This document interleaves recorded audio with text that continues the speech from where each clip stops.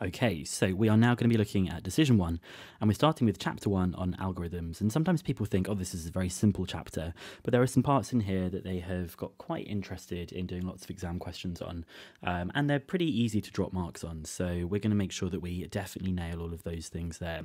Now, more broadly, my aim in decision one is to try and give you the intuitive approach to the algorithms you're going to be applying many times. And really, what I mean by that is I want to teach you why the algorithm was designed in that way and what it actually does rather than just trying to remember a list of different things that need to be done, because ultimately that's where things get confusing and, and you kind of can't do as, as good as you could. So once you've understood this, you'll easily remember them for um, you'll easily remember them for the reasoning that's going on behind them, instead of just like a list of instructions of things that you need to do. So later on in D1, these are the algorithms that you're going to be able to learn to do. They're going to help you to sort lists into ascending or descending order. I've said wow, yeah, of course we know how to do that as just human beings, but we're going to be thinking how like a, a computer might be designed to do that. How to con fill containers effectively, sort of. Sometimes we don't fill them very effectively. Um, and then later on in D1, these are in the, the first chapter, we're going to be connecting places together with the shortest amounts of roads, finding shortest distances between places, traveling all of the roads in a particular area in the best way possible, visiting all of the places in an area in the best way possible. And then later on, we're going to be solving problems with lots of constraints like the available resources or demands on production levels. And then in the last chapter, we're going to be planning projects effectively, which means including all of the tasks, the timings, and allocating workers and resources to each, each task. So this is really like the summary of what goes on in decision one. And this is the summary of everything that's going to be happening in chapter one here. Now, I wanted to include this little bit down here of a mathematician, a Muslim mathematician called Al Khwarizmi. And when his name was written into Latin, when it was written down not in sort of Arabic script, this um, surname was, even though it's actually about a place that he comes from, was written as Algorithmus. And this mathematician here, he was an incredible mathematician who basically did tons of stuff to do with algebra, but also had a lot to do with arithmetic. And arithmetic is obviously the process of like multiplication subtraction, addition, and multiplying, and he kind of formalized the process of some of those algorithms. In other words, those those steps that you follow to perform those calculations, and that is where the name algorithm actually comes from, because this surname Al-Khwarizmi, when it became algorithmus, it has now become algorithms, and it's now not used just for arithmetic; it's used more broadly for following a set of instructions that we've got there. So I always think it's quite nice to think like, where do some of these words actually come from? Okay, so and this is just his name in Arabic script, and this is roughly the time that he was alive. So we're going to start by thinking about what an algorithm actually is and how we implement it, and we're going to use this idea of something called a trace table here. Really, it's just pretty obvious. I think you could probably do this without my instruction. So following algorithms, and algorithms are sets of instructions to help perform a task or solve a problem, it should be easy if they are well written. A trace table, which is this thing that we've got here, can help keep track of what is going on. There's no need to follow strict rules with these, just make sure that it's clear what you're doing. So sometimes in the textbook they have like, oh, you know, step one, do this, then step two, do that, and it's all kind of a very long trace table that they have. I've looked through all of the exam questions, I've looked through examiners' reports. Anything I tell you in these videos is always going to be sort of the best advice that will hopefully save you time and also make it easier to understand what is going on. So, like I've said, there's no strict rules about how to fill them in, just make it clear of what's actually going on here. So for this first example of what the algorithm actually is, we're going to implement this following algorithm in a trace table that I've drawn over here. And if it were in the exam, they should give you that trace table to begin with. Okay, so first thing that I'm going to do, I just need to switch to my normal fountain pen, um, is it says here, let n equal 1, a equal 1, and b equal 1. Okay, well, let's just put 1 in all of these places that we've got here. Print A and B. Okay, so that means at the bottom, print means just kind of like write it out. So A and B is 1 and 1. Um, let C equal A plus B. So C is equal to A plus B. That means that it's 2. And then it says print C. Let n equal n plus 1. So n was 1. I'm now going to add 1 onto it, and I'm going to call it 2 let A be equal to B, okay, so A is now 1, and let B be equal to C. If n is less than 5, go to 3. Okay, well, n is less than 5, so I'm going to go back here. And it says let c equal a plus b. So c is going to be equal to 1 plus 2, which is 3.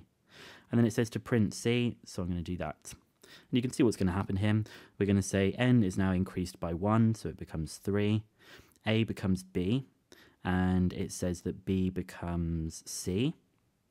And then we're going to go back up to this part. We're going to let C equal A plus B, which is 5. And then we're going to print C so that it's 5 there. And then it says here that if n is less than 5, okay, we're still going to keep going. So I'm going to add 1 onto n, um, which now means I can pull b across as a, c across as b, and then we're going to do this part of the algorithm. We're going to let c equal a plus b, uh, which is 8, and then we're going to print it. Okay, so we're going to print c. After I've printed C, I'm going to increase n by 1, so it becomes 5. And A is going to become 5, B is going to become 8. And then it says if n is less than 5, go to 3. If n is equal to 5, stop. Okay, so we've done the algorithm, we've used the table to help us figure out what's going on. And what does the algorithm do? Well, it printed these numbers that we've got along the bottom here. So what does the algorithm actually do? Hopefully you can recognize this is it prints the Fibonacci sequence. It prints the Fibonacci sequence. I think I've spelled that right. Now, yeah, you might not need an algorithm to do this, but if you think about how com computers are made, computers don't have brains in the way that we're thinking about things. They are always being told exactly what to do to do next. And so this is why algorithms sometimes if I'm like, yeah, I want to tell you what the Fibonacci sequence is, obviously that's quicker to do. But designing this algorithm to make it produce the Fibonacci sequence is like a different kind of thing altogether. So that's kind of a bit of the flavor of what's going to be happening in decision. Okay, so we'll have a look at um, an exam question using a trace table. It's only from the AS paper. I haven't seen it in an A-level paper. And basically, they're pretty broad about how they give you the marks. They don't need it like a step-by-step. You just use the table to help you do the calculations. So we have a following algorithm to produce a numerical approximation for integration. If you haven't done integration yet, just skip this part. You don't need to be able to do this. Go straight to exercise 1A. They've got the algorithm here, and they're telling you that they've got some input values to begin with, and we're basically going to do the algorithm for these values and fill them into this table and state the final output. So number one, it says start, input the values of a, b, and n. So it is a, b, and n and it says let h be equal to b minus a divided by n. So that's 3 minus 1 divided by 4, which is 0.5. So h is equal to 0.5. And then it says let c equal h divided by 2, which is 0.25. And let d equal 0.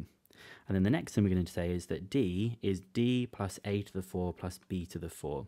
So that's 1 to the power of 4, I'm not going to include the 0, plus 3 to the power of 4. So d is 82, and I'll put that on a new line. And let e be equal to a, which is a 1. And then we're going to let e equal e plus h. So e plus h is 1 plus 0.5, which is 1.5. And if e is equal to b, if e is equal to 3, so if it ever gets to 3, we're going to go to step 12. Otherwise, we will just um, we will continue with what it's saying here. So we're going to say that d is now the previous value of d plus two lots of e to the power of 4. Obviously, we're doing BIDMAS here, so we need to do 2 times e to the power of 4 first of all. So I'm going to do 1.5 to the power of 4. I'll times that by 2, and I'll add on the previous value, which is 82. And we should get, if you've done the same as me, 92.125. Now we go to step 8, because that's what it tells us to do next. So I'm going to increase e by h, so it now becomes 2 and it's not equal to b, so I'm going to do that same process. So I'm going to do 2 to the power of 4 times it by 2, and I'll add on that previous value, which is 92.125, and you should have 124.125. So we're going to do the next part of this, which is said that now um, go back to step 8. So I'm going to increase E by H. So it's now going to go to 2.5. We're going to do that same process. So that's 2 times 2.5 to the power of 4 plus 124.125. And we get 202.25. So that was our step eight. We're now going to, sorry, that was this part here. We're now going to go to step eight, which is to increase E by H, and it now becomes three. And so it says if E is equal to B, go to step 12. Well, it is equal to B, so I'm going to go to step 12, which is that F is C times D. So I'm now going to let f be equal to c times by d. So I'll multiply those together and that will give me my value of f, which I can just put on the table, which is 50.5625. So we've completed the table in the answer booklet and the final output is 50.5625. Okay, then for part B, it just says calculate to three significant figures the percentage error between the exact value of i and the value obtained from using the approximation to i in this case. So this whole process, this is trying to do the this is what the question was actually trying to do. It was trying to find an approximation between this. We were trying to find an approximate answer for integrating that, and we've said it's approximately 50.5625. So what I'll do for part B of the question is I'll find the true answer for this. So I will integrate so that I get a fifth x to the power of 5 between 1 and 3. So it's going to be a fifth of 3 to the power of 5 minus a fifth of 1 to the power of 5 so that I get the true value. So it's 3 to the power of 5 divided by 5 minus 1 to the power of 5 divided by 5. And we get 48.4.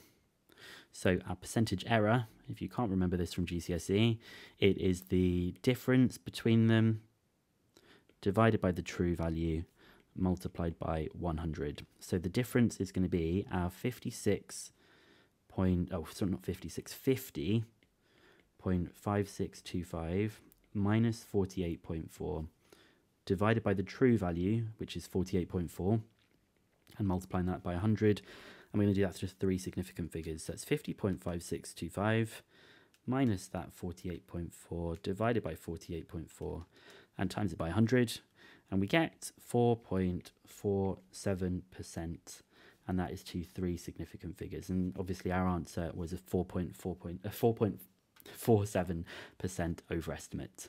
So let's double check we got this all right yeah, there's everything in the trace table just like we had with the final output, and we got the 4.47% there. So this is the only question I've seen on this, but you can just use the trace table in whatever way you want. If you look in the textbook, they say like, oh, you must move on to a new line for this.